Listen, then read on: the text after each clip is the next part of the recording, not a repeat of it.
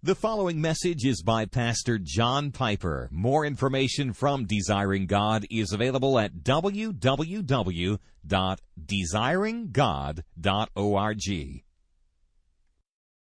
On New Year's Eve of 1936, in a Roman Catholic hospital in Bismarck, North Dakota, one day away from his death,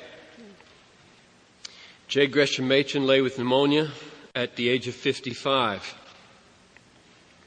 It was Christmas break at, at, Westminster Seminary where he was teaching New Testament at the time, and his colleagues said that he looked deadly tired. But instead of resting, as his colleagues said he should have, he accepted a speaking engagement in North Dakota and he took a train from the mild temperatures of Philadelphia to the 20 below zero winds of, of Bismarck, and he spoke with Pastor Samuel Allen in several Presbyterian churches there. Ned Stonehouse, uh, who wrote his biography, said there was no one sufficient in influence to constrain him to curtail his program to any significant degree. His isolation really was remarkable in those last hours of his life. He was the leader of the conservative movement in the Presbyterian Church in America. No one doubted that. And so he had no one above him to watch over him, to hold him accountable for his schedule.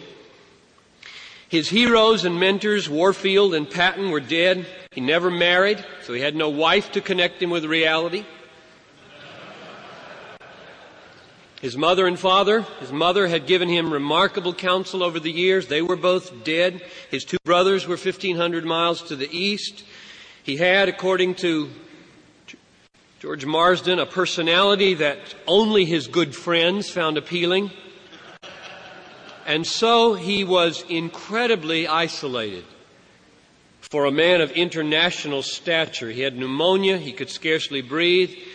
Pastor Allen visited him on that last day of 1936 to pray with him, and he told Pastor Allen of a vision that he had of being in heaven and said, Sam, it was glorious. It was glorious. And then a little later he said, Sam, isn't the Reformed faith grand? And on New Year's Day, 1937, he mustered just enough strength to send one telegram to John Murray back at Westminster, and his last recorded words in the telegram were, I am so thankful for the active obedience of Christ. No hope without it. And he died at 7:30 that night. That's a picture of J. Gresham Machen. His death scene is a picture. So much of the man's life is there. The stubbornness, of going his own way when friends urged him not to do this extra preaching, the isolation far away from the centers of church life, his suffering for what he believed in with all his might, his utter allegiance to the Reformed faith of the Westminster Confession, his getting comfort not just from general truths that Christ loved him and gave him sort of but, but from a specific doctrinal truth about the active obedience of Christ that he knew was his obedience and therefore fitted him to be accepted into eternal life for Christ's sake. All of that was Machen. And he was cut off in the midst of a great work at the age of 55. The great work at that moment was the founding of Westminster Seminary and the founding of the Orthodox Presbyterian Church. He had not set out to found anything. He prided himself, and Princeton prided themselves that not anything new had come out of Princeton for a hundred years. It was the glory of Princeton Seminary to have stood with Hodge, Hodge, and Warfield for a hundred years. He, he had no intention of founding a seminary or a church. He had taught at Princeton for 23 years and was at the thick of everything in the ecclesiastical life of the PCUSA in those days. But who he was and what he stood for made it almost inevitable in view of where that church and that seminary was going. Westminster, at that moment when he died, was seven years old. The Presbyterian Church in America, which was forced legally within its first month to change its name to the Orthodox Presbyterian Church, was six months old. He had been elected its first moderator June 11, 1936. And the occasion for starting that new Presbyterian church was that on March 29, 1935, Machen uh, was found guilty of insubordination and failure to obey his ordination vows and was stripped of his ministerial standing by the New Brunswick Presbytery. The appeal was made to the General Assembly, and at the Syracuse Assembly in 1936, it failed, and he was out of the ministry by vote of the entire denomination. The reason for the insubordination that led to the censure and the indictment and the conviction and the ouster was that in June of 1933, he had formed an independent board of foreign missions to protest the fact that the Presbyterian Board of Foreign Missions had endorsed a book called Rethinking Missions, written by laymen, which Machen said, quote, from beginning to end is an attack upon the historic Christian faith. And because he said that they were supporting missionaries of the likes of Pearl Buck. Pearl Buck said that if someone existed who could create a person like Christ or portray for us a Christ like the Gospels, then Christ lived and lives, whether he once had a body and a soul or whether he is just the essence of men's highest dreams. And when Machen read that kind of latitudinarianism or indifferentism, as he would call it, he said, I can't give my money to support a pearl buck. And therefore, the seriousness of that decision flowing from the General Assembly in 1934 read like this. Quote, a church member that will not give to promote the officially authorized missionary program of the Presbyterian Church is in exactly the same position with reference to the constitution of the church as a member that would refuse to partake of the celebration of the Lord's Supper or any other prescribed ordinance of the denomination. In other words, it was elevated his decision not to support the board, to found a new independent board, was elevated to the level of refusing to come to the table of the Lord, and that was the ground of his dismissal. A few years earlier, 1929, he had left Princeton Seminary, not under the same conditions. He voluntarily left Princeton because of the reorganization of the governance structure there was in Princeton for a hundred years a board of directors who embodied the conservative confessional commitments of the school.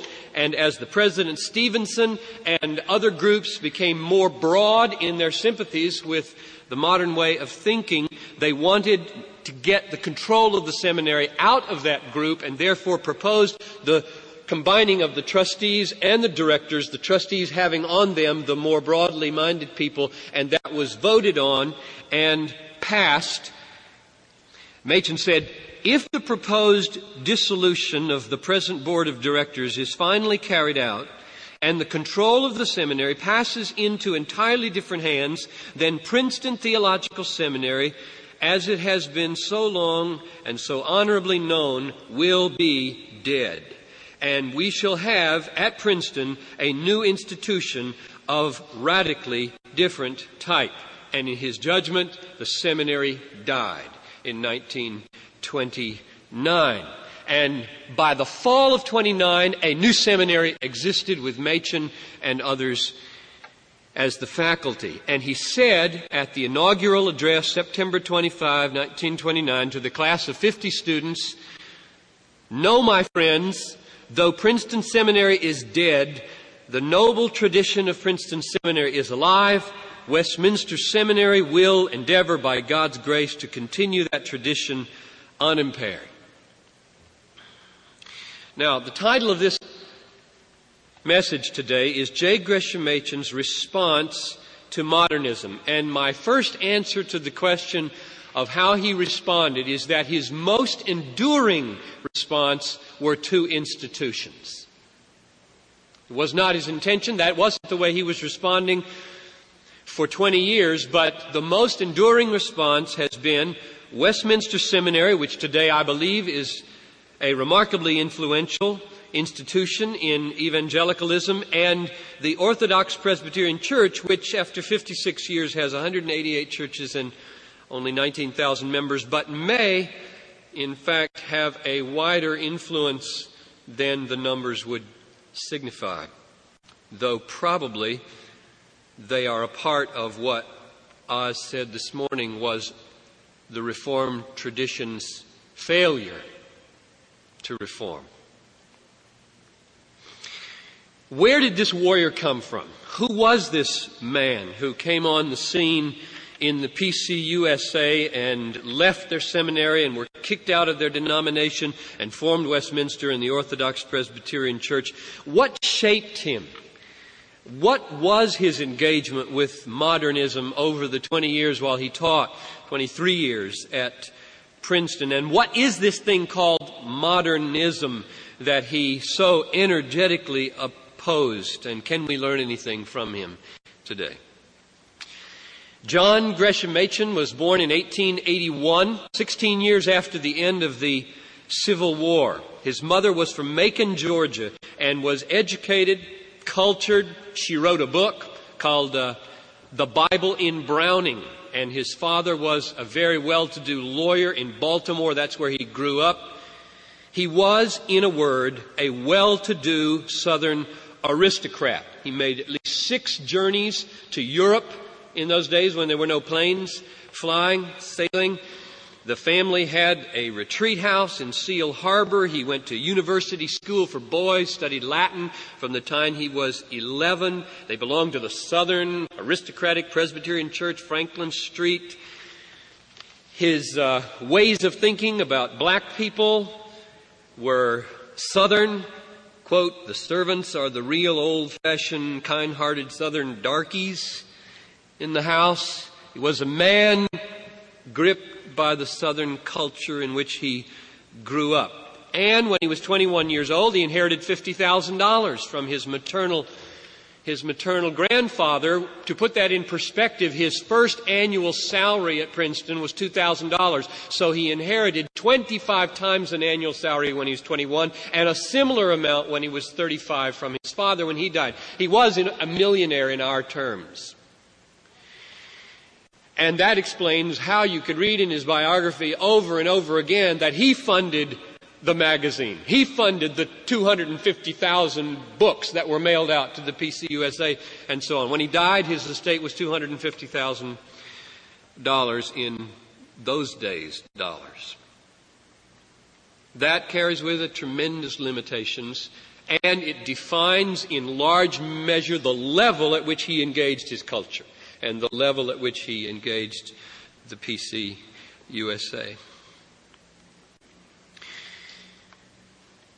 When he finished high school, he went to Johns Hopkins, studied classics, and then, kicking and screaming almost, he went to Princeton Seminary for three years, not at all intending to go into the ministry, didn't know whether he would or not. Took a year in Germany to study New Testament, and there he met modernism as he came to understand it for the first time in vital, compelling, winsome form in the person of Wilhelm Herrmann at Marburg. Uh, it was an almost compelling, overwhelming encounter. This is important because what Machen was doing for the next 23 years when he opposed modernism was not throwing rocks over a wall that he'd never glimpsed over. He had been over the wall into the camp and almost was lost there. to the cause. I'm going to read an extended series of quotes from the letters home just to show you how close we came as evangelicals to losing him and what an impact this man Herrmann had on him and what it should teach us about the way we present our theology. Princeton almost lost him because of the way they presented their theology. Here's the quotes. The first time I heard Herrmann may almost be described as an epoch in my life. Such an overpowering personality I think I almost never before encountered. Overpowering in the sincerity of religious devotion. My chief feeling with reference to him is already one of deepest reverence. I have been thrown. Now, this is a man who does not believe in the resurrection, doesn't believe in the infallibility of the scriptures, doesn't believe in the virgin birth. Okay? This is a modernist. I have been thrown all into confusion by what he says. So much deeper is his devotion to Christ than anything I have known in myself during the past few years, the Princeton years. Herrmann affirms very little of which I have been accustomed to regard as essential to Christianity. Yet there is no doubt in my mind that he is a Christian and a Christian of a peculiarly earnest type. He is a Christian not because he follows Christ as a moral teacher, but because of his trust in Christ. Practically, if anything more truly than theoretically, his trust is unbounded. Herrmann represents the dominant Ritschlian school Herrmann has shown me something of the religious power which lies back of this great movement which is now making a fight even for the control of the Northern Presbyterian Church in America. In New England, those who do not believe in the bodily resurrection of Jesus are generally speaking religiously dead. In Germany, Herrmann has taught me this is by no means the case. He believes that Jesus is the one thing in all the world that inspires absolute confidence and absolute joyful subjection. And that through Jesus we come into communion with the living God and are made free from the world. It is the, the faith that is a real experience, a real revelation of God that saves, not the faith that consists in accepting as true a lot of dogmas on the basis of merely what others have said. Das Verkehr des Christen mit Gott is one of the greatest religious books I have ever read. Perhaps Herrmann does not give the whole truth. I certainly hope he does not. That little phrase is so hope giving as you read the history of this man. I certainly hope. I think underlying, this is a token of the way God works, I believe, as young men experience doubts underlying these intellectual doubts that he was being plummeted into, there was what Jonathan Edwards would probably call a, an affection, a nose. That didn't operate here mainly, a nose and an affection for the truth, so that periodically, as he's expressing his fascination with these new ideas, he keeps inserting, I hope it's not true. I hope it isn't true. Because there was this gut level, I have loved what Warfield taught. I think.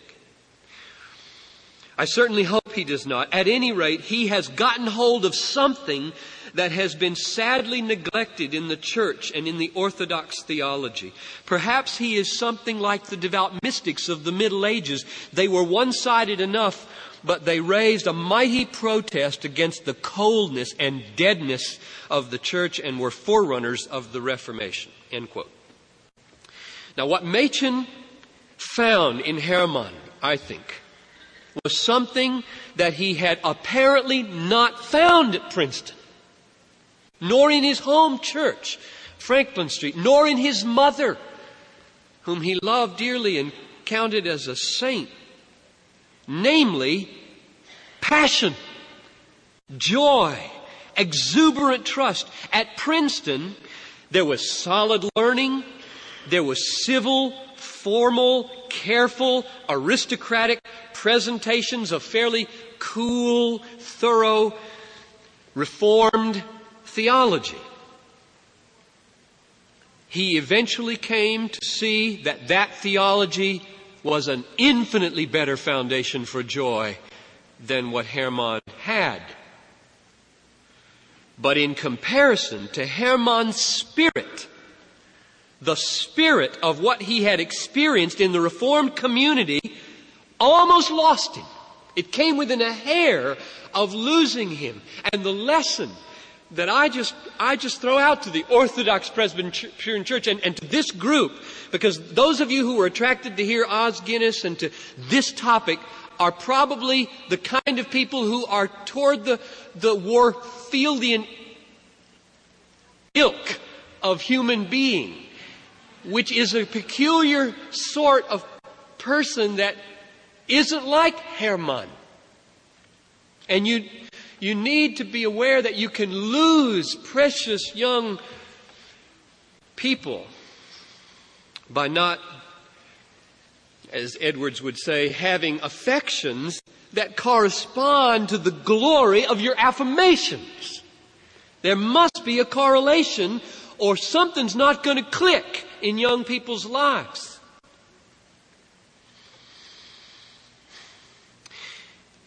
The experience in Germany made a lasting impact on him and on the way he carried the rest of his life. He said again and again that he respected and he sympathized with modernists who could honestly not believe in a bodily resurrection from the dead, nor that the Bible was inerrant, nor that Jesus was born of a virgin, provided they said it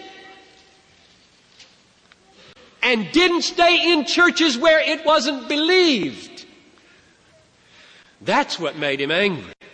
Quote, there is my real quarrel with them, referring to some of the faculty at Union in New York. There's my real quarrel with them. As for their difficulties with the Christian faith, I have profound sympathy for them but not with their contemptuous treatment of the conscientious men who believe that a creed solemnly subscribed to is more than a scrap of paper.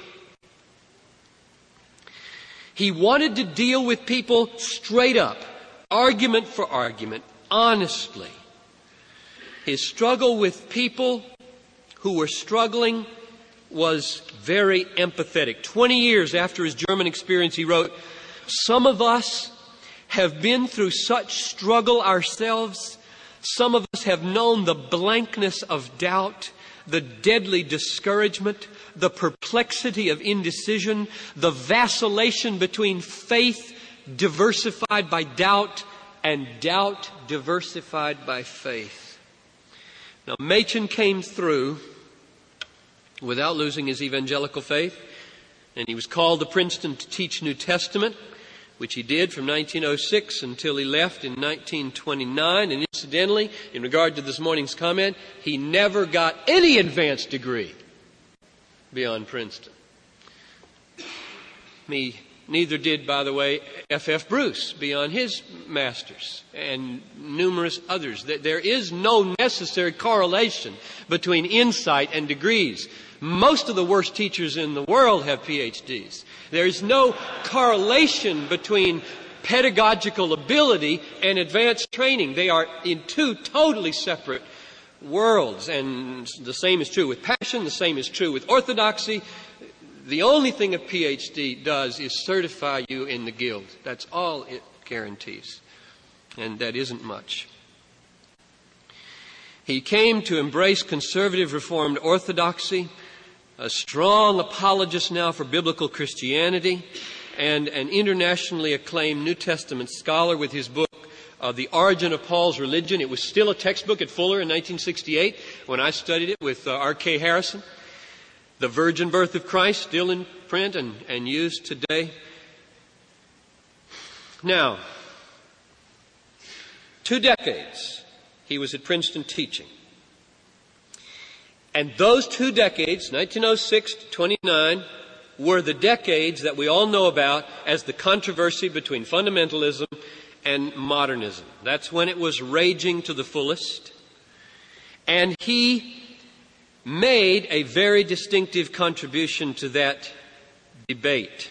And what I want to do is, I think, get at him by contrasting his engagement of modernism with fundamentalism. Because you can't understand him if you only see him as one species of what's known as fundamentalism. At least I don't, I don't think that can be done. He was seen as an ally, and he was an ally to fundamentalism. He was blasted as, as guilty by association by those who were the enemies of fundamentalism. He never would accept the term himself. Uh, here's Stonehouse's definition of fundamentalists people who, quote, single out certain great facts and doctrines, the fundamentals, that had come under particular attack and were concerned then to emphasize their truth and defend them, end quote. Now there's a lot more to it than that, and Machen didn't like it. Here's what he said. Do you suppose that I do regret being called by a term that I greatly dislike, a fundamentalist? I most certainly do regret it. But in the presence of a great common foe, I have little time to be attacking my brethren who stand with me in the defense of the Word of God. So there you, there you hear the balance of yes and no to fundamentalism. Here's what he did not like about it. These were his characteristics. One, the absence of a historical perspective. Two, the lack of appreciation for scholarship. Three, the substitution of brief skeletal creeds for historic confessions. Four, the lack of concern for precise formulation of Christian doctrine. Five, pietistic perfectionistic tendencies. Let me just insert, just to give you a, a glimpse here.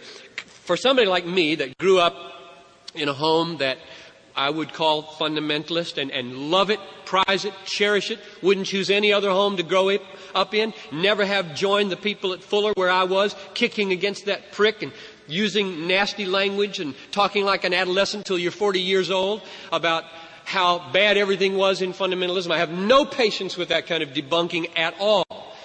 But it took a while for me to get adjusted that there could be Christians who smoke. Listen to this, listen to this quote. 1905. He's just finishing up at Princeton.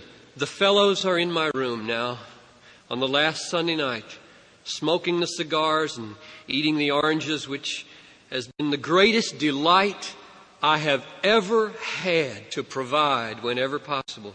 My idea of delight is a Princeton room full of fellows smoking. when I, when I think what a wonderful aid tobacco is to friendship and Christian patience, I have sometimes regretted that I never began to smoke. I mean, I, I think I can read that now. I just, takes my breath away, my fundamentalist breath away, literally.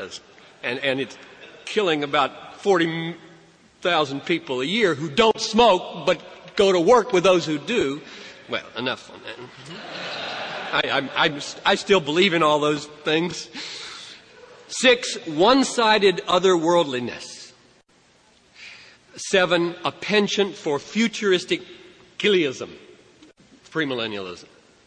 He didn't like it. He was an amillennialist. So th- those were the things that set him off from, from fundamentalism. He was on one side and they were on the other, but when it came to the modernists, they were like two peas in a pod as far as he was concerned. Now, there's a deeper issue for why he did not align himself with the fundamentalists. And this is important because this gets to the root of how he tackled modernism in his day. And I, and I hope the definition of modernism will come out in, in a few minutes more clearly, perhaps, than it has been so far. He went deeper than the fundamentalists, and he went broader than the fundamentalists, and he owed his ability to do that to Benjamin Breckinridge Warfield. February 16, 1921, halfway through his time at Princeton, uh, Machen uh, I mean, uh, Warfield died. Machen wrote home to his mother, with all his glaring faults, he was the greatest man I ever knew. 1909, on the 400th anniversary of John Calvin's birth, Warfield gave a great address to the uh, faculty and uh, others gathered to celebrate that event on Calvinism. And it struck to the very depths of Machen's mind and heart what Warfield said on that day. What he said, in essence, was that Calvinism is not a species of Christian theism alongside others. It is Christianity come to full flower. Quote, Calvinism is not a specific variety of theistic thought or religious experience or evangelical faith, but just the perfect manifestation of these things. The difference between it and other forms of theism, religion, evangelicalism is the difference not of kind, but of degree. It does not take its position then beside other types of things. It takes its place over all else and claims to be these things as embodying what they claim to be. Now, this is a weighty, weighty distinction. Alongside of, as a species, alongside, or the, the full blown flower of what other things are trying to become. Now, Machen believed this. And this governed the way Machen thought about uh, Christianity and how it interacted with everything else out there. Lutheranism is its sister type of Protestantism. Arminianism it's, is its rebellious daughter. Calvinism's grasp of the supremacy of God in all of life enabled Machen to see that other forms of evangelicalism were all stages of grasping God, which were yet in process of coming to the full and pure appreciation of the total God centeredness of Calvinism.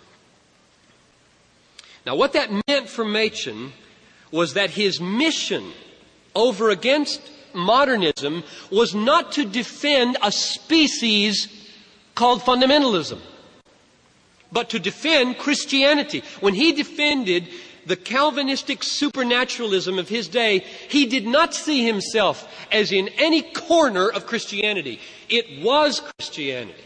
That was, that was what drove him. So his main problem with the term fundamentalist was this, quote, it seems to suggest that we are adherents of some strange new sect. Whereas in point of fact, we are conscious simply of maintaining the historic Christian faith and of moving in the great central current of Christian life. That's what set him off most deeply from fundamentalism. He was invited to be the president of Bryan Memorial University, which now I think is just Bryan College in Dayton, Tennessee.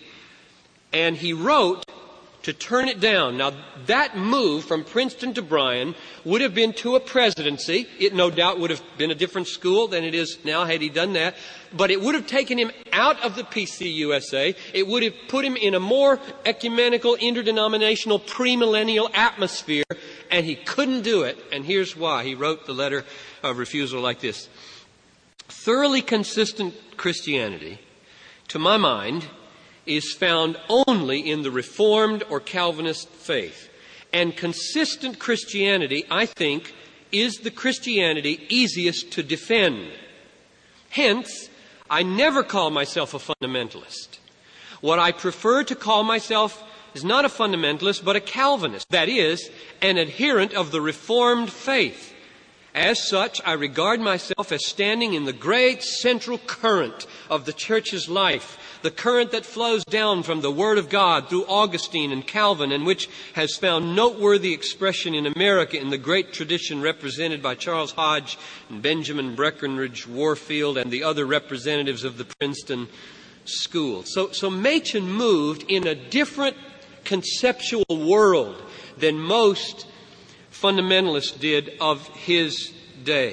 When he took on modernism, he took it on as a challenge to Reformed Christianity. And so his most important book, which uh, has just come back into print and gone out of print from uh, Eerdmans, this is what you should all have in your library. This is as relevant today as it was 70 years ago in 1923 when it was written.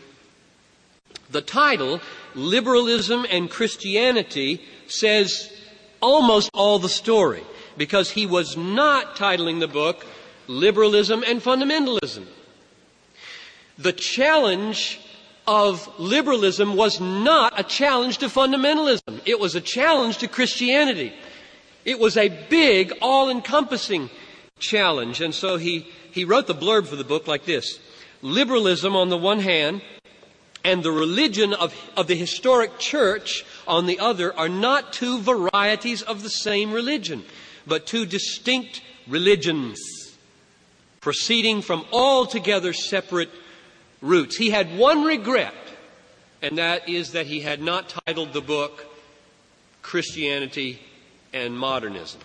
Because he came to feel that in calling it liberalism, he gave it too much credit. Because the word liberalism has a noble history.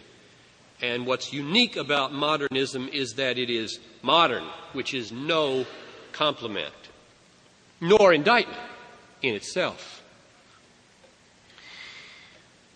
What was it? What was liberalism slash modernism? The words are used interchangeably in Machen. I'll use them interchangeably here.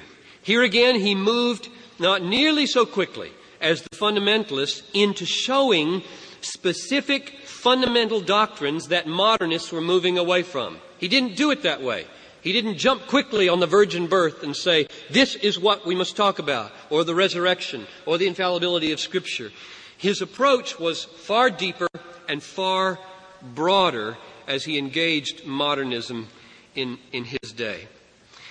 What he did was engage in first a thorough analysis of the modern culture and the spirit of the age, and he tries to think through the relationship between modernism and what Guinness has been calling modernity. Modern culture is his word for it. They're not the same. Modernism is the theological construct and atmosphere theologically that is growing out of modernity. And Machen's first efforts are to get at what this thing is and then deal with it on its own terms. Let me read a quote about modern culture. He says, Modern culture is a tremendous force. Modern inventions and the industrialism that has been built upon them have given us, in many respects, a new world to live in. Now, he's writing 1920. 23.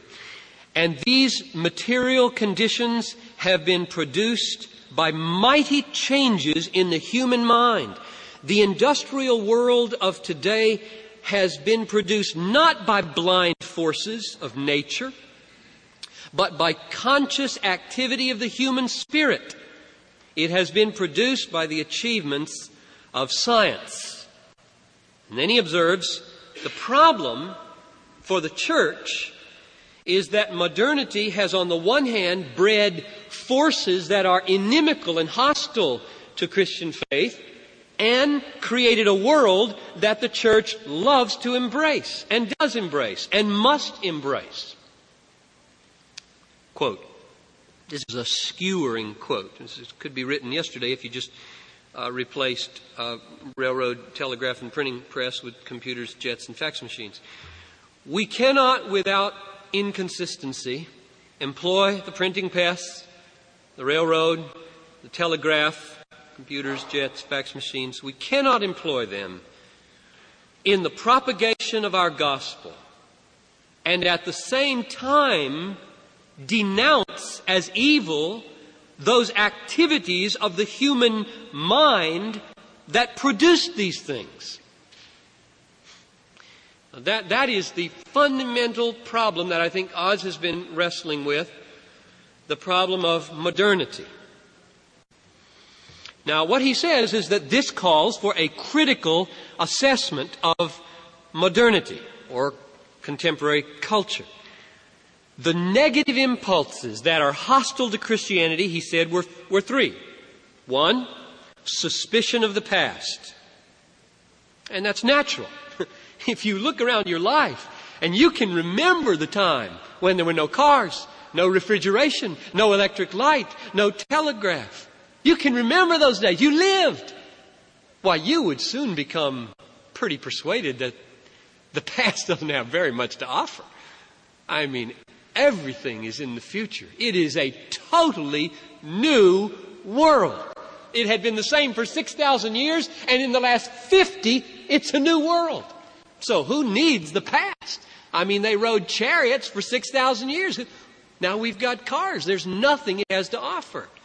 So that, that, you can feel some of the force of that thinking. Secondly, skepticism about truth and the replacement of the category of true with useful. And you can feel some of that. When you do your experiments in order to find out how to make light, how to make refrigeration, how to make words go over wires. Who gives a hoot about truth if it works? I mean, if you can fax, if you can work computers, I mean, does it work? And so you can feel some of the, the force why true, that category just kind of goes down and useful and efficient comes up. And the third is the denial of the supernatural. Is there any such thing? It hasn't been obvious in any of our recent discoveries, and we're, we, are, we are fixing the diseases. You don't need prayer anymore. You just, as Dr. Fuller says, you get the rats out of the manholes. Just poison the rats. Find a new chemical that'll kill the rats, and, and that'll take care of your black plague. Machen credits modernism. Now that's the theological response to modernity Machen credits modernism with really trying to come to terms with these challenges. Quote, what is the relationship between Christianity and modern culture? May Christianity be maintained in a scientific age? It is this problem which modern liberalism, modernism, attempts to solve. And in trying to solve it, liberalism or modernism has joined modernity in one, minimizing the significance of the past, and two, accepting the utilitarian view of truth, and three, surrendering supernaturalism. And all three compromises with the spirit of modernity together produce the modernist spirit in religion. It is a spirit. It's, it's not a set of doctrines per se or a set of denials. This is why Machen, oh, this is so important. It's important today. This is why Machen never tired not only of criticizing the doctrinal views of people in the PCUSA, but what he called indifferentism or latitudinarianism. The President Stevenson, who was the president of, of Princeton in those days, did not want, he, he affirmed, he said, the whole Westminster Confession, but he did not want to push the liberals out. Machen never tired of saying that there's a spirit here of modernism that creates an atmosphere in which shifts away from orthodoxy happen. And it's the spirit that minimizes truth as true and elevates truth as useful. Let me just quote from one of the modernists of that day, John McCallum, about what he understood um, modernism to be, just to show you that from the inside out, we're moving in the right direction with the definition. The liberals have accepted the enlarged view of the universe which has been established by modern astronomy, geology, and biology. Instead of blindly denying scientific facts as obscurantists have always done, they have adjusted themselves to them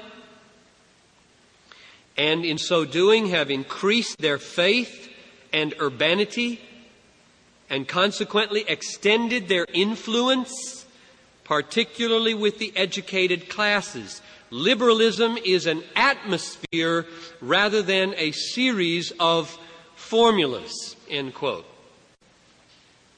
So when the preference for the new and the naturalistic bias and the skepticism about finding what is true, when those all come together, what you have in the seminary, in the church, is an extraordinary opportunity for the abuse of religious language and the manipulation of historic confessions.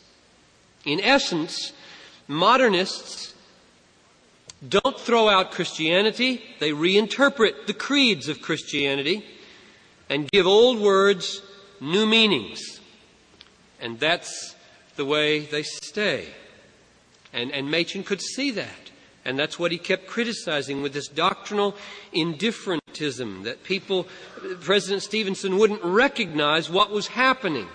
People could still be using the words of the confession and put a totally different meaning. So the virgin birth was one theory of the incarnation. And the bodily resurrection was a theory of the resurrection. And so the old facts don't correspond anymore with permanent facts. They symbolize. The virgin birth is a symbol. And the bodily resurrection is a symbol of a general religious principle. And those symbols are sometimes useful.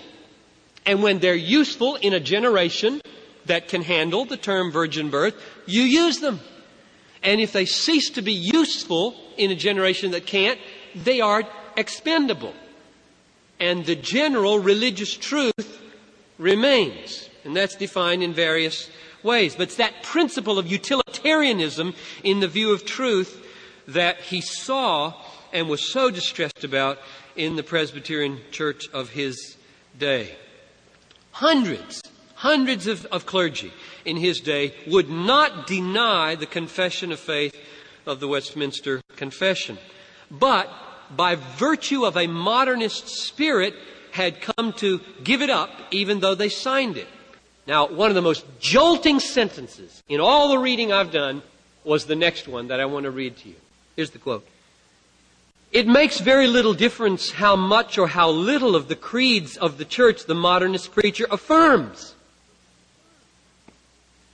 Or how much or how little of the biblical teaching from which the creeds have been derived he affirms. He might affirm every jot and tittle of the Westminster Confession, for example, and yet be separated by a great gulf from the Reformed faith all is denied because all is affirmed not as true, but as useful. There's a whole philosophy of language that has been built up to justify that kind of staying within denominations. It makes it so hard to deal with colleges, seminaries, denominations. There, there's this gut sense when you're around certain people, they don't believe this. There's nothing, there's nothing happening here. The language, some of it is there, but, and you, you can't, it's like mercury. You put your finger on it, it goes zoop, zoop, just all over the place. The utilitarian view of history and language leads to evasive, vague language that enables the modernist to mislead people into thinking that they are still orthodox. Listen to this. This is another incredibly contemporary and relevant sentence from his book, What is Faith? Which is out there, by the way. I recommend it. For the introduction alone, What is Faith is worth the price of the book. This temper of mind is hostile to precise definitions. Indeed, nothing makes a man more unpopular in the controversies of the present day than an insistence upon definition of terms. Men discourse very eloquently today upon subjects as God, religion, Christianity, atonement, redemption, faith, but are greatly incensed when they are asked to tell in simple language what they mean by these terms. Close quote. Now, Machen's critique of, of this analysis of modernism, his critique of it, flows uh, from two directions. One is a critique from inside the culture, analyzing it and its goodness or not, its benefit, its truth, and the other is from inside the text of the New Testament. So let me take those one at a time. Machen asks modern man, are we better off with modernity? And he grants we're better off with material things, but are we better off in the realm of the spirit? Here's a quote. The improvement appears in the physical conditions of life, but in the spiritual realm, there is a corresponding loss. The loss is clearest perhaps in the realm of art. Despite the mighty revolution which has been produced in the external condition of life, the railroad, the telegraph, fax machine, computer, and so on. I lost my place. Despite the mighty revolution which has been produced in the external condition of life, no great poet is now living to celebrate the change. Humanity has suddenly become dumb. Gone too are the great painters, the great musicians, the great sculptors. The art that still subsists is largely imitative, and where it is not, it is usually bizarre. he argues that drab utilitarianism, that's his phrase, drab utilitarianism destroys the higher aspirations of the soul and results in unparalleled impoverishment in human life. So you can see what he's doing. He's working from the inside of contemporary culture to show on its own terms it's bankrupt. This is his first strategy. When you take away objective norm and truth, you take away the only means of measuring improvement or progress. You can talk till you're blue in the face about progress, but ultimately, if there's no absolute, no norm, no objective truth, you have lost anything to move from, toward, and all that's left, he says, is the changes of a meaningless kaleidoscope. So, in view of those things and other observations and effects of modernity and modernism, he asked the modern man, um, Is your rejection of the past and is your rejection of the category of truth and is your abandonment of supernaturalism as cheap and expendable as you think they are? Quote, in view of the lamentable defects of modern life, a type of religion certainly should not be commended simply because it is modern or condemned simply because it is old. On the contrary, condition of mankind is such that one may well ask what it is that made the men of the past generation so great and the men of the present generation so small. And that's the way Machen seeks to understand and critique modernity and modernism from the inside. Questions like that, unfolding its own hollowness. And that set him apart from the fundamentalists. They didn't do it that way. They didn't go that deep. They weren't that broad. Now, his other strategy was biblical. From outside of modernism, he took their claim to be biblical. They never abandoned that claim. That's what was so maddening to, the, to him. He took that claim to be biblical and he went back to Paul and Jesus and he noted some very simple things. He noted Acts 1 8. He said, The church from the beginning has a charter to be witnesses. He said, Witnesses implies events beheld and experienced. And the charter and meaning of Christianity is faithfulness to true events through true witness. And then he said, not only have there been events, but they devoted themselves to the apostles' teaching, which was the interpretation of those events. And then he went to Paul's letters and he pointed out some very interesting things. He said, Paul took truth and doctrine and specificity seriously. For example, He contrasted Philippians and Galatians. And in Philippians, he noted that Paul in prison was incredibly tolerant towards the people who wanted to make his imprisonment miserable by preaching the gospel when he couldn't. And he said, I'm glad it's preached.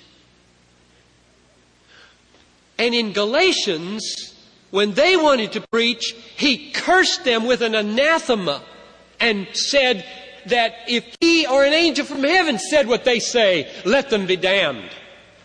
You say, well, is that the Paul of Philippians? I mean, what happened to this tolerance? And Machen points out that the difference is a sentence. They got the gospel right. Rotten attitudes. Rotten attitudes. And they got it right, evidently.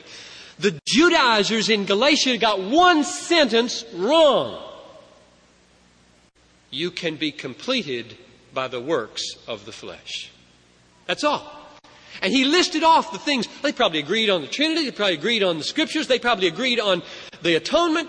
They probably agreed on. He got one sentence wrong, and they are anathema. Now, that does not mean every sentence wrong makes a person anathema. In fact, in, in the chapter on doctrine in Christianity and liberalism, he lists off all the things he won't fight about. It's an incredible list. He is fighting anti supernaturalistic modernism that goes right to the core of what it is. And all he's doing then is trying to show them look, you can't be so indifferentist and latitudinarian about doctrine and still call yourself Pauline. And then he spends time on Jesus doing the same thing. Now, they may not have bought it, but in my judgment, and for many, it was a successful thing. And Walter Lippmann, who reviewed from the outside that book, said the modernists, he wrote this about 10 years later, the modernists have never, never answered. Christianity and liberalism. What he meant by that was not that they are wrong about denying the resurrection, but that they're wrong about calling themselves Christian. That Machen settled to his satisfaction that you cannot call yourself a biblical Christian and still deny the importance of doctrine or the fundamentals. Here's another quote. As over against the pragmatist attitude, we believers, Machen said, in historic Christianity, maintain the objectivity of truth. Theology, we hold, is not an attempt to express in merely symbolic terms an inner experience which must be expressed in different terms in subsequent generations, but it is a setting forth of facts upon which experience is based. And so his response to modernism, I think, stands. It is not a kind of Christianity. It is the chief, quote, the chief modern rival of Christianity. And in direct opposition. The foundational truths are surrendered, and worse, the concept of truth is surrendered to pragmatism so that even our affirmations are denials because they are affirmed as useful rather than true. I don't think the modernism of, of Machen's day is significantly different in spirit than the postmodernisms or liberalisms theologically of our own day. It is still a menace in most churches and schools and agencies. I think one of the greatest protections against it is to know the stories like Machen's, what enemy he faced, what battle he fought, uh, the weapons he used and failed to use, the losses he sustained, the price he paid, the triumph he wrought. If we know our history, we will be better equipped. Let me just close this part with a with a quote about hope. What was his hope? That church is still alive. An unbroken spiritual descent connects us with those whom Jesus commissioned. Times have changed in many respects. New problems must be faced and new difficulties overcome, but the same message must still be proclaimed to a lost world. Today we have need of all our faith. Unbelief and error have perplexed us sore. Strife and hatred have set the world aflame. There is only one hope, but that hope is sure. God has never deserted His church. His promise never fails. Now, um, I'm looking at the clock here and noticing that, that, that my hour is uh, up. And I have a list of, of 12 applications that I, I was just going to wonder whether I had time for any of them. And uh, I knew I wouldn't have time for all of them. But maybe, maybe since we have just a little leeway on the other side, and I won't be offended if anybody walks out, I'll give you a few of these applications to today and, and then leave time for questions. So I, I hope that's okay. I'm taking prerogative to go longer than my, my hour here. Let me just, I, I, we need to bring this into today a little more than I already have, so let me try. Number one, these, these are called on my paper here hints at lessons we might learn from Machen. Number one is a call for honest, open, clear, straightforward, guileless use of language. Very few things anger me more than Christian slipperiness. I hate it.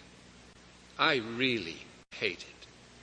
And I think God hates it. And I think Paul wrote against it when he said, We speak before God with guileless, open speech in 2 Corinthians. We don't peddle the Word of God. We don't flatter with our tongue. Paul hated duplicity. I think even more than he hated false doctrine. It alerts us to the fact that it exists. Now, this may be taking coals to Newcastle to say this to you, I don't know. but I, I, try to say it a lot to my church to, to alert them to the way moral language is prostituted today for special interest groups. Here's an example. There's a quote from Christianity Today quoting Gregory King, who is the spokesman for the Human Rights Campaign Fund, the largest homosexual advocacy group, quote, I personally think that most lesbian and gay Americans support traditional family American values, which he then defined as tolerance, concern, support, and a sense of community. Now, here's a man on behalf of the homosexual community taking the phrase traditional family values and saying, yes, of course. This is a classic illustration of what is being done with language. What was done by the modernists in Machen's day, what is done with the word infallible in many of our schools today. You take traditional family values and you say, we believe that. And then you find four words that the choice of words is incredibly uh, um, astute. Tolerance. If you disagree with that, you're intolerant. Concern. If you disagree with that, you're callous. Support. If you disagree with that, you are oppressive. Community. If you disagree with that, you are a hate monger. But definitions, tolerance of what? All things? The standards? People like me? Probably not. Concern. Concern for what? Expressed in what way? Support. Support for what? Behavior that is destructive to personhood? What do you mean? Oh, you don't do definitions today. We don't do definitions. That's not what language is for. Language is useful. This is politically useful to talk this way. Community? By what standards? Under what unification? Oh, we don't talk like that. It's useful. We're getting our, we're getting our agenda across. We're winning. If we can use language to win, we don't need definitions. Now you must be aware of that today. You must alert your people. This preaches, brothers. This preaches. Boy, when I talk on these things, political correctness, it is dead silent in this room. They love to hear this thing analyzed. They hear it every day. They read it in the newspapers. They like it when somebody can say, Oh yeah, oh yeah, I see. The, the oh yeah thing on Sunday morning is one of your best powers. Suspense in preaching is one of the most useful tools to hold up a problem. Everybody feels the problem, to hold them for 20 minutes and solve it. That's what people are longing for. When you talk about preaching doctrine, this is another point down here somewhere. When you, when, when you, talk, about, when you talk about preaching doctrine, see, oh, dead, boring. Dorothy Sayers must have been off the wall then. The, the dogma is the drama. People want doctrine. They want things explained, but they don't want it like this in preachy tones and no passion and no zeal and no illustrations and no thoughtfulness and no order and no clear language. They, they've had enough of that stuff, but they want you to solve their problems, their intellectual problems and how the Bible fits with the world and what is, what is the active obedience of Jesus and what is the sovereignty of God and is the atonement limited and that is not boring. It is not boring. You make it boring if it's boring. God is the most exciting reality in the universe. We are not always excited. That's our problem. Not God's problem. He is infinitely exciting, infinitely glorious, infinitely, uh, He never bores anybody. If people are bored, they are blind. And we are. You, you just must link in to this glorious sovereign God if you want to hold your people. How did I get on that with language? Number two was to alert people to the utter doctrinelessness of our day. And the utilitarian way of thinking is with us, uh, with a vengeance. Third, here's an interesting one. The importance of founding and maintaining institutions. He, he did too. The Princeton theology was carried by three institutions Princeton Seminary, Princeton Theological Review, and Charles Hodge's Systematic Theology. Now, I'm a charismatic at heart. I'm even a theological charismatic. I believe in life. I believe in all the spiritual gifts. I believe institutionalism kills. But I'm thinking these days where I would be without the institution of Bill and Ruth Piper, my parents, the institution of Wheaton College, the institution of Fuller Seminary, and the institution of the writings of C.S. Lewis. Who would John Piper be? It is inconceivable to me. This church is an institution. The danger of institutions is that they hold you in from going to the neighborhoods and become ends in themselves. But if you could try to imagine life without institutions and say, the preservation of all that's precious will go from person to person, hands raised and heartfelt. It ain't gonna happen. It just ain't gonna happen.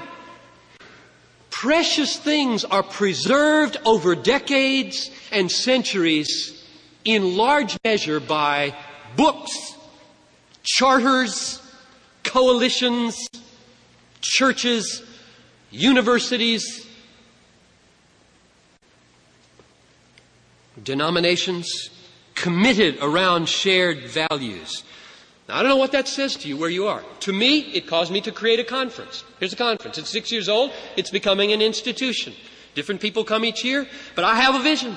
I have a vision of God. I have a vision of church life and worship and the centrality of God over all things. And I said, look, if people will come when I send out an invitation and get a speaker like Os to come, I'll, I'll pour some work into it. And this embodies something. You men will be influenced a little bit. Even if you don't like it, you'll be influenced a little bit. And so you, you in your, where you are, you can create little institutions. There are little institutions like the family, which is the most important, and there are big institutions like the American government and, and others. So institutions are, are really, really crucial. The, da- the next one is the danger of indifferentism. I think I've said enough about that probably. Um, I probably hit hard enough the value of a God-centered vision of all reality. When he, when Warfield got a hold of Machen and enabled him to see that once you see that God is supreme over all, that Calvinism is the most full expression of that total supremacy over all things, what that does in my life is enable me to say something significant about everything. Does that sound presumptuous? Almost does, doesn't it? You could, you could stand, we could just take an hour right now and you could stand up and say anything you wanted. Just pick anything. Open the dictionary. Flop and pick out a word and tell me, talk about it. I could talk about it. I mean, even if I didn't know what it meant, I could talk about it.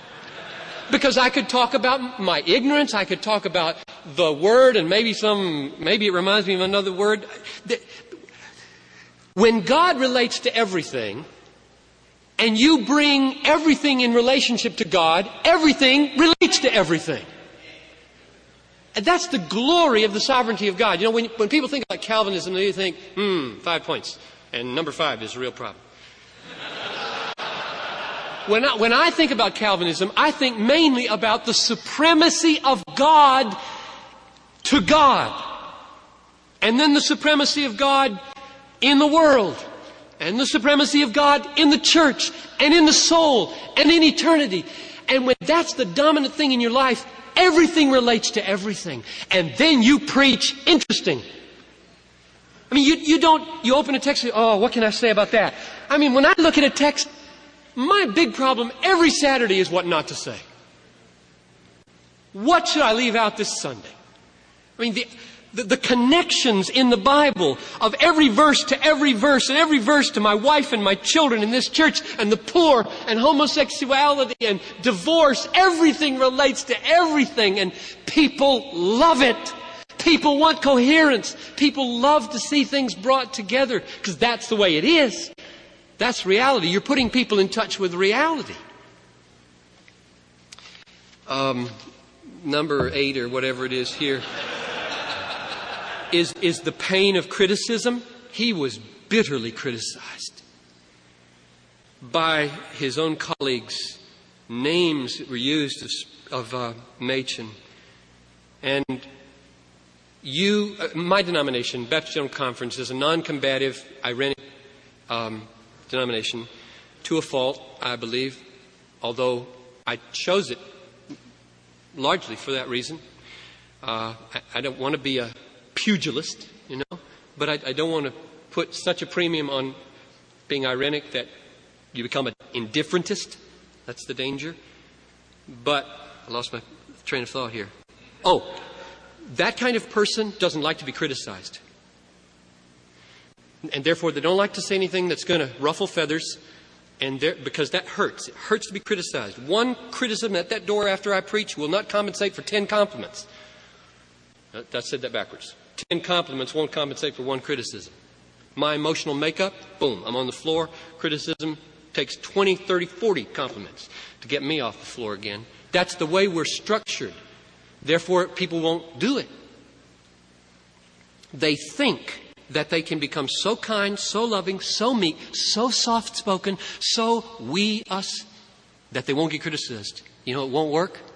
I read in First Things, Germaine Greer called Mother Teresa a religious imperialist. At my school, convent school, she said, the pious nuns who always spoke softly and inclined their heads with small, patient smiles were ones to fear. They became the mother superiors. Mother Teresa is not content with running a convent. She runs an order of Mother Teresa clones, which operates worldwide. In anyone less holy, this would be seen as an obscene ego trip. Mother Teresa epitomizes for me the blinkered charitableness upon which we pride ourselves and for which we expect reward in this world and the next. There's very little on earth that I hate more than that. Well, I mean, if Mother Teresa's going to get it, forget it, guys. Just, you just forget it. You're going to get it. And therefore, we just have to go ahead and say it like it is. I have one more, but it's too long, so I'm going to I'm going to stop. I think. Um, if you want to ask a question about it, you can. I'll tell you what it is. Namely, preparing pre evangelism, preparing culture to receive the gospel. But it's, it's, it's my cutting edge. I don't know, if I agree with it, but I'm going to stop here and let you ask questions. And you can ask about anything under the sun for the next 15 or 20 minutes. Dan. With the extent in PCUSA, I don't think the BGC is in anywhere near the trouble they were at that time. Um, um, the vote last summer out in Colorado Springs on the resolution concerning ministering to homosexuals was to me a, a great signal of faithfulness. For those of you who don't know, there's about 900 people there, and, and, and a motion was brought to the floor to, I think, express a compassionate and yet full of conviction statement about homosexuality and passed with two dissenting votes out of 900 people. That's unheard of, I think, today. So I feel encouraged at the grassroots as who there. I, I have less encouragement about about the college, although I believe it, it's in the hands of very strong and, and committed evangelical non indifferentists. Um, and, and I just think we need to be prayerful and supportive. We had a Bethel Sunday last Sunday, and, and I held up programs. I called the people to support and pray and had a Bethel prof preach. And uh, I, I don't want to be quick to jump ship on an institution. That's the biggest struggle I have. Did Machen jump ship at the right time? With Princeton? Did he do right? Vos didn't go, you know. Uh, Armstrong didn't go, and, and, and others stayed. I don't know what to say about the wider. Um, we got PCUSA people here, and they're far better equipped to say. I think that church is a lost cause, as far as I can tell. But but that's a that's a philosophy of separatism that is very unrepresentative of a lot of evangelicals. I mean, I have precious friends who believe they're going to stay there, they're going to fight from the inside. That's obviously where Ben is, I presume, and, and others. But when, I mean, they, they, had, they had the General Assembly here in the Twin Cities a couple of years ago, and oh, man. Um, it's, it's really hard. I mean, we have become so callous to the, to the wild eyed things that mainline Protestants say today that I don't even know if we could judge the way Machen would judge about the time of leaving. John? That uh, definition, because we have, a, we have a gay church, Church of the Lakes, who would agree with your definition of evangelicalism. And the, the definition, we are people who define ourselves by the gospel of Jesus Christ, um, is inadequate to make any distinctions today in view of the abuse of language, I think. I mean, those, those words, gospel of Jesus Christ, are words that virtually every professing Christian of every liberal and modernist stripe would agree with. So I don't think Os meant, I don't think he meant that that would be the sentence in the covenant. Uh, you're going to have to respond to this tonight.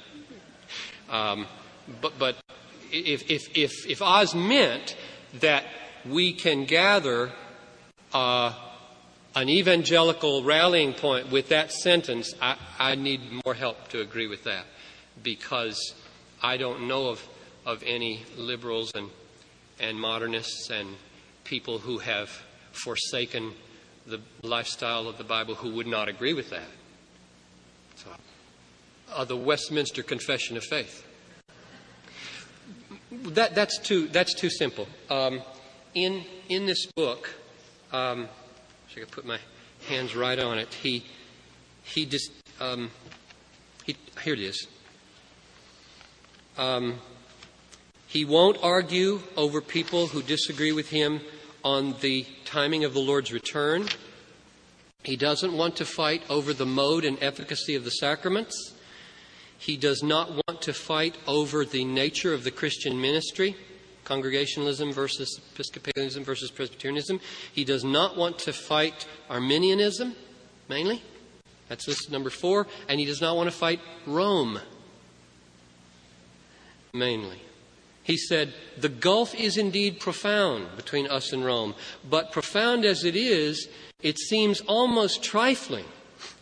It seems almost trifling compared to the abyss which stands between us and many ministers of our own church. The Church of Rome may represent a perversion of the Christian religion, but naturalistic liberalism is not Christianity at all. So his breadth was very broad in whom he was willing to call brother. But he, w- he, would, he would use words like defective or perverted. See, my guess is half of you are, I don't know what the percent, how many in here are, would you be honest? Do, do not, I mean, endorse uh, pedo baptism. Raise your hand. There's a lot of you. Come on, raise your hand. How many do endorse your presbyterian? Do endorse. How many of you believe in practicing infant baptism? Raise your hand. Okay, so 40 or 50. See, now, I would call that view not unchristian, but defective. It's a, it's a, it's a defective. It's, it's, it's one of those little, it's one of those little sprouts under the big tree of, of Baptistic Reformed faith. I think one of the biggest challenges we have is to decide what issues we're going to rally, we're going to make issues of coming together or not coming together. And, and then it's so complex because when you say coming together, what do you mean coming together for what? I pray with the weirdest people in this city. I'll pray with almost anybody. But whenever a group gets together to plan a prayer event, I'm the one who pulls out the Lausanne Covenant and says, you know, I think we need some doctrinal agreement. Here's a good one. And then I say, oh, fine, that's, that's good. Let's call it indifferentism. But at least I feel like I've got to put the word on the table because I don't, I don't think it's going to work in the long run to try to pull people together on the basis of prayer or other experiences. um, I think whoever you just quoted there would probably also add, wouldn't he? And as long as I'm not kicked out. And as I'll stay as long as it is officially orthodox and they don't kick me out. Now, okay. They kicked Machen out. I wish I knew what would have happened. They didn't kick him out of Princeton. That was a different kind of decision. He, he left Princeton seven years before he left the PCUSA, and he was kicked out of the PCA, and he fought with all his might to stay in the PCUSA. Now, whether he would have stayed long term, I don't know. But he argued his case vehemently that he was not in disagreement with the Constitution nor the Confession. And he was defeated. In fact, they wouldn't let him make his whole case. They, they, they wanted him out so, so bad. So I would say the trajectory of Machen's career denominationally was that he, he was, he was going to fight this thing in the denomination as long as he could. I don't know how long that would have lasted. Um, I sure respect that view that if there is official denominational affirmation of biblical faith, that uh, one can have integrity in staying, unless um, staying communicates endorsement and support through maybe too many unofficial ways that would compromise the testimony. And I suppose the, the possibility that you couldn't say for sure when that happens, but I can imagine for him it was, I will not give money to support Pearl Buck and, and others. And they said, that's like not coming to the Lord's table and kicked him out. Now, they might not have said that, and so in, I think in many denominations it's possible not to, co- to contribute to the denomination. I don't know if that's true, but uh, that would be one compromise, I suppose, that you would, might want to uh, avoid. Um, it may it be that if you're in the community where that church is known for what it stands for and y- what you are communicating to your whole community is the endorsement of rejection of biblical truth, practically, then you might say, this is too destructive to the witness of the church. There's another fellowship that would be more, more consistent.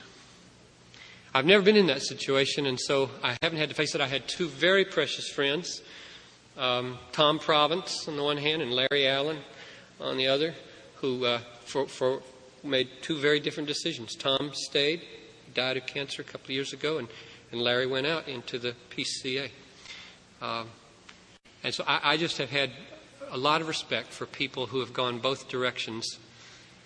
But I guess my own my own sympathies lie with those who are um, drawing the line closer to the truth. That, you see, when, when you have a, a document in front of you, like the Westminster Confession, you know, 95% of which I love, maybe 98, um, when you have that in, in front of you, and you say, This is who we are, and you know they're lying through the teeth. it's just, mm, you, that, uh, go ahead. Most people live. Most people in the grassroots, what, what he just pointed out was he grew up in a church, in the, in the Presbyterian church, with a pastor who believed the words, the meaning, the reality, the event, and didn't even know there was such a problem as modernism until he got to seminary. And that's, that's where most people live in most denominations, is that what you are immediately, week in and week out, connected with is what matters most to you. And, to, and the question was then, do you throw over that tradition and say that didn't count, or I don't want to preserve that, maybe? That's what you're asking, and I, I am not going to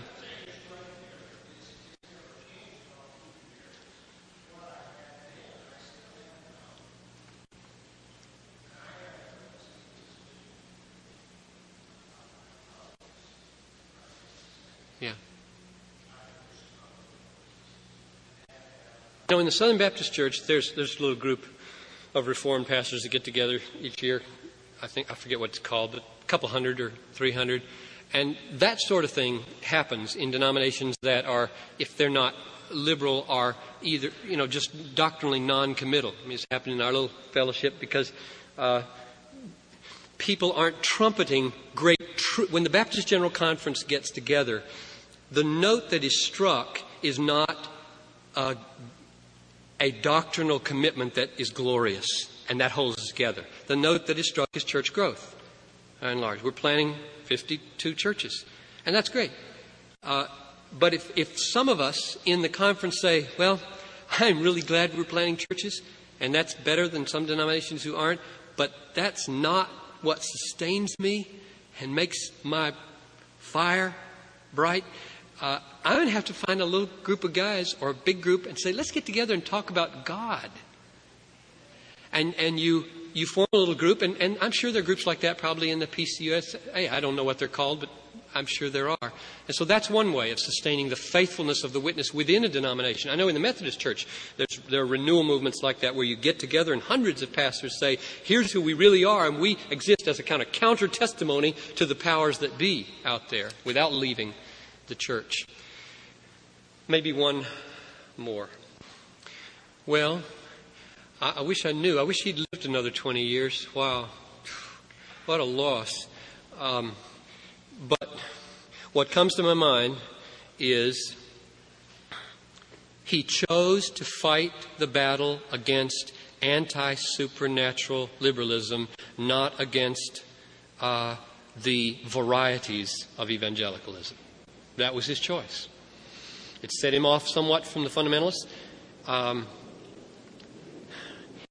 when the OP was founded, now my history is not as good as some of yours here, but within a year it split again because Carl McIntire and Oliver Buswell and um, I forget who um, um, the, the, the others were, they wanted the new Presbyterian Church to have a teetotalistic statement, and they wanted it to have a premillennial uh, sense to it, I think, and a few other things.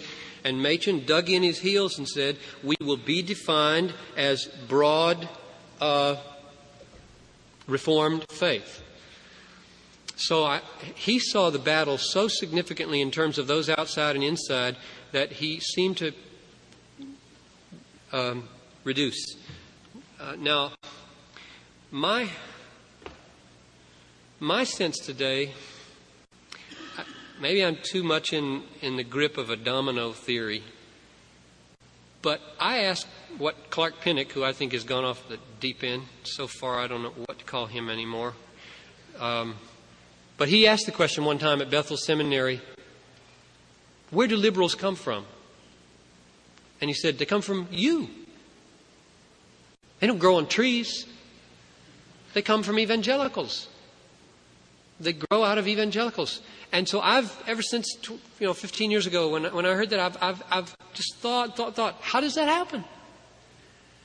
How is it that Jerry Sheppard, Assemblies of God, with whom I went to seminary and was one of my closest friends, teaches up in Toronto now in Old Testament, endorses things, I mean, that he would have considered utterly unthinkable 20 years ago at Fuller. How did that happen? Should I blame it on Yale and Union where he went?